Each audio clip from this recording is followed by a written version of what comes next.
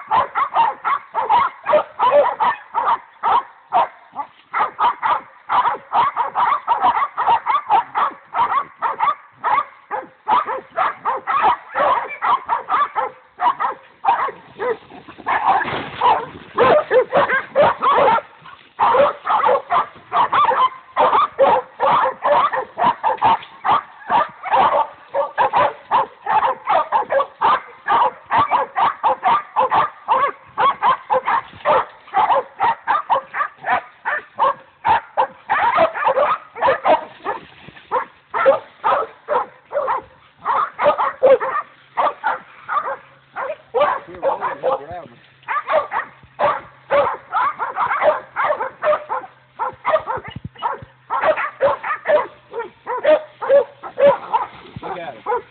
He's scared, dude.